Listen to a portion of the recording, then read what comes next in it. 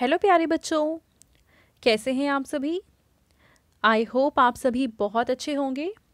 बच्चों, इस वीडियो में हम डिस्कस करेंगे क्लास वन की वर्कशीट नंबर 135 जो कि 17 दिसंबर 2021 की वर्कशीट है और आज का सब्जेक्ट है बच्चों मैथ्स यानी कि गणित। सबसे पहले आप यहाँ अपना नाम लिखेंगे। यहाँ आप अपनी टीचर का नाम लिखेंगे और क्लास वन के सामने आप अपना सेक्शन ए बी या फिर सी लिखेंगे। तो चलिए इस वर्कशीट को हम शुरू करते हैं। टॉपिक है सोनू की दिनचर्या।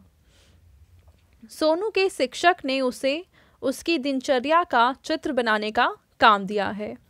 सोनू ने अपनी दिनचर्या सामने दिए गए चित्रों के द्वारा दिखाई है। तो देखो, ये है दिनचर्या सोनू की।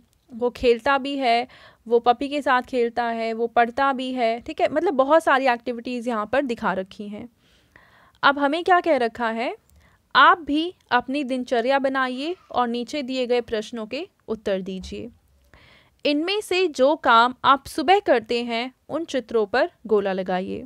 तो बच्चों, इनमें से वो काम जो हम सुबह करते हैं तो सुबह हम नहाने का भी काम करते हैं और सुबह हम फ्रेश होने का काम भी करते हैं। तो इन दोनों ही चित्रों पर आप गोला लगा सकते हैं। उसके बाद है कि इनमें से जो काम आप रात को करते हैं, उन पर गोला लगाइए। तो रात में हम कौन कौन से काम करते हैं? एक तो हम रात में पढ़ाई भी करते हैं और उसके बाद रात में हम सोते भी हैं। ठीक है? अगले वाले चित्र में कह रखा है कि वो काम जो आप रात को नहीं करते हैं, उन पर गलत का निशान लगाइए। तो आप रात को इनमें से कौन सी चीज़ नहीं करते हैं? तो देखो, रात को बच्चों सोने के पहले ब्रश करना चाहिए। रात को हम खाना भी खाते हैं। हो सकता है आप पपी के साथ ना खेलते हो तो इनमें से जो चीज़ आप नहीं करते हैं, उस पर आप गलत का निशान लगा देंगे। ठीक है?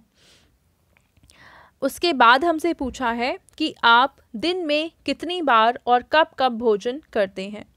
तो आप जितनी बार खाना खाते हैं, चाहे वो जैसे एक बार सुबह हो गया, फिर दोपहर को हो गया, फिर रात को हो गया, अगर आप तीन बार खाना खाते हैं तो आप तीन लिखेंगे, अगर आप चार बार खाते हैं तो चार लिखेंगे, जितनी बार खाते हैं उतनी बार लिख देंगे, ठीक है?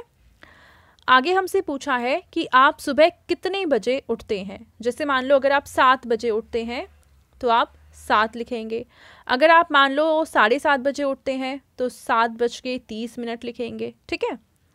और उसके बाद आपसे पूछा है कि आप रात को किस समय सोते हैं? जैसे मान लो आप 11 बजे सोने जाते हैं तो आप 11 लिखेंगे। या अगर आपका कोई और टाइम है सोने का या उठने का तो आप वो टाइम यहाँ पे लिखेंगे। अब आपके पेरेंट्स के लिए सुझाव है कि बच्चों के साथ उनके पूरे दिन के बारे में चर्चा कीजिए।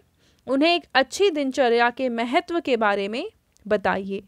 तो बच्चों, ये थी आज की हमारी मैथ्स की वर्कशीट एंड आई होप आप सभी को ये वर्कशीट बहुत ही अच्छे से समझ में आई होगी।